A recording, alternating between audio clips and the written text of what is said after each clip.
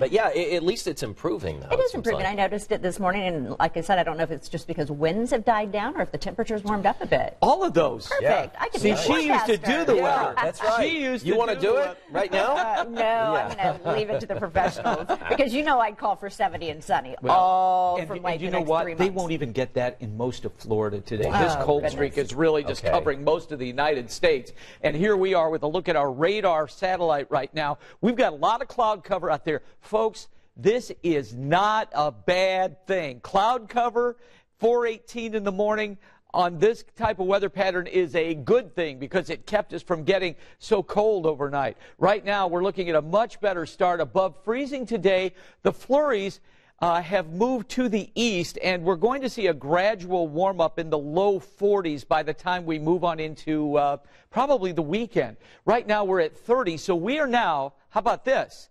We are warmer than yesterday's high. That's weird, isn't it? But but we are 29 Kokomo, 29 Shelbyville, and Columbus is at 30. We don't have much of a wind chill. I'll take a 22 wind chill anytime uh, with a weather pattern like that, and certainly that's what we have. Okay, we have this cold dive of air that is continuing. Again, the cloud cover helps us, but the jet stream continues to dip to the south. So the ultra cold air now moving into Alabama. And as I, I mentioned to uh, Ben and Julia, there are some spots in North Florida, for instance, that will be 15 to 20 degrees cooler than average later on today. So let's walk you through what I think the day looks like for us. 22 by 7 a.m. I may change that and just bring it on up because uh, it looks like this cloud cover is going to be quite persistent. Anyway, 35 by the noon hour and a high today of 39. And remember, it's getting dark after 5 o'clock now, so that's a, that's a good thing at 39 degrees. This is what we're looking at for the next several days. Again, we are not going to get to our average high of 54. I wish we were. Pray we were, but it ain't going to happen. 40 Saturday, 42 Sunday, and then 47 on Monday. I think Tuesday we're probably there at uh, 50 degrees. So here comes this cold front.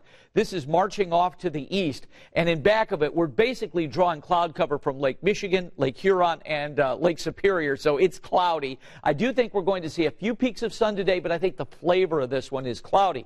Traditionally, when you have a front like this that comes over Lake Michigan at this speed tomorrow at noon, you get snow.